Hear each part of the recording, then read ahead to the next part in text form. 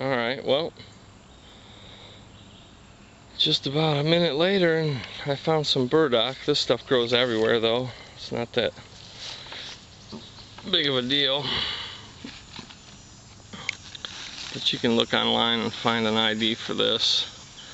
But the main thing is it has a light underside and the underside is has fine hairs all over it you can eat the root like this one. I could probably dig this up because it doesn't have a central stalk coming up with the burrs all over it. I'm sure you've probably gotten burrs on you when you're out in the woods those big round velcro like seed pods. That's what this is. But I'm told if you harvest the roots of the plants that don't have a central stalk coming up you can eat them. I harvested a couple this spring and they didn't look very appetizing to me so I didn't eat them. But I guess it's a important plant to keep in mind. One thing you can do I've seen guys on YouTube and stuff do this and I'm gonna try it uh, the next time I get go out fishing and camping is you can take these leaves and uh, wrap your food in them like potatoes. What I'm, I'm gonna do fish and uh, just take five or six of these big old leaves and wrap your food up really good.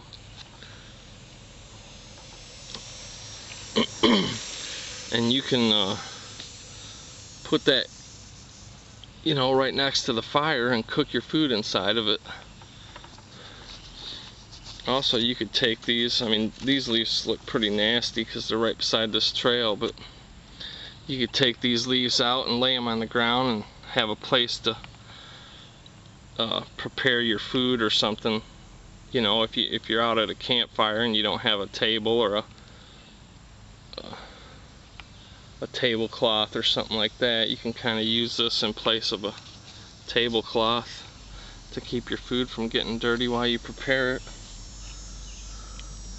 uh, like I said, I'm just going to keep cutting this video on and off as I go and hopefully piece it together later. It's going to be pretty choppy, but mainly just want to show that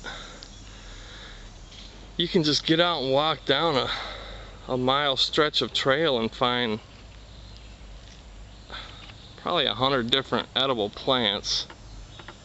And the only real trick is keeping track of where they grow and coming back uh, when it's harvest time and picking them. so I'll cut this off and meet you down there where the blackberries grow. Here's some more of that Chinese lantern or ground cherry.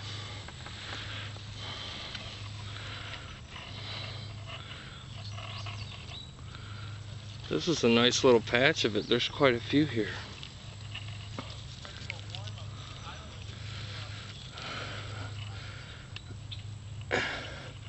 I'm not 100% sure, but I believe this is smooth ground cherry, according to Peterson's field guide. It has a dark center on the yellow flower, but that's something I need to research a little better but I do know that's what they are. I'm gonna rip one of these open and see what's inside.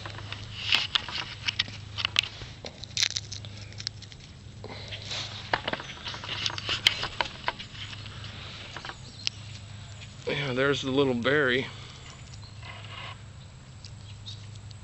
that's inside these husky pods. And it's kind of hollow and yucky inside. So, I don't know.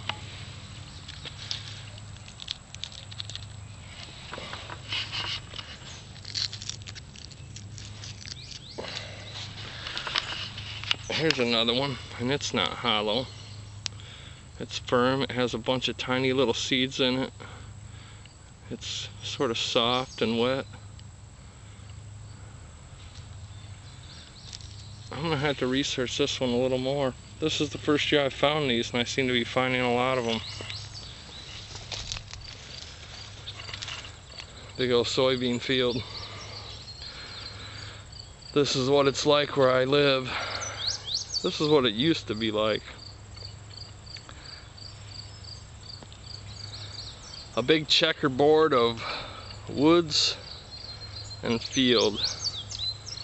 You look at it from an aerial photo and it looks like a big chess or checkerboard. But I'm gonna move on. Here's another interesting plant.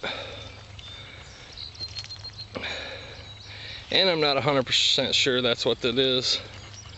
But I think I saw Iowa Woodsman. I think he did a YouTube video where he made some cordage out of this. And I can't remember if he called it buttonweed.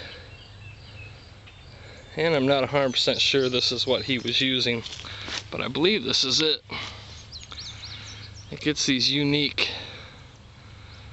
seed pods. Really distinct.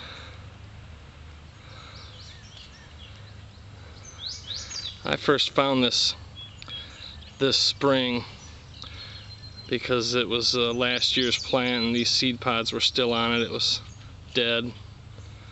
And uh, I tore some off and it seemed like it would make good cordage because there are some fibers in here. Or at least a decent makeshift cordage if you didn't have anything else.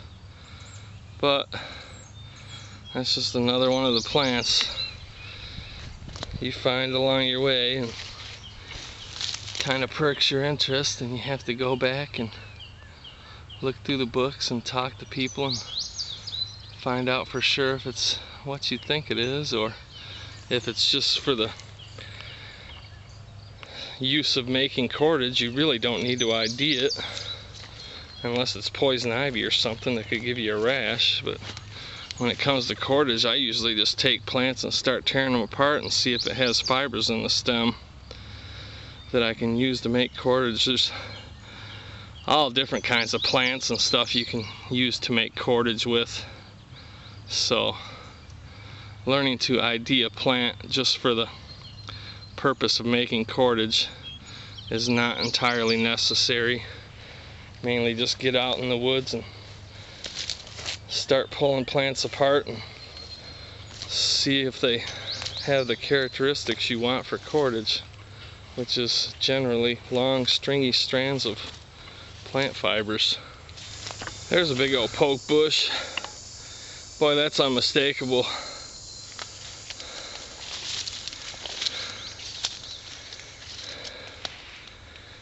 Gets these berries on it which turn a dark purple like the stem. That just stands out. There's nothing else. nothing else that looks like that.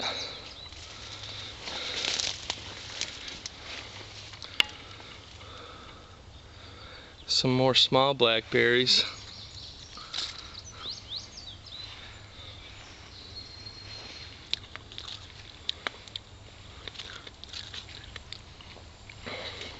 Hmm. But I'm looking for the big ones and they're right up here. One thing, there's there's getting to be less and less farm fields around here most of the farm fields are becoming golf courses and subdivisions and strip malls now.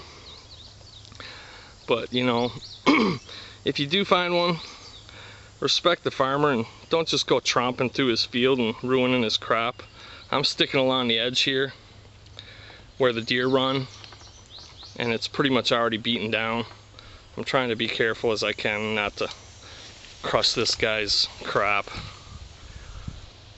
I mean, it's a huge field.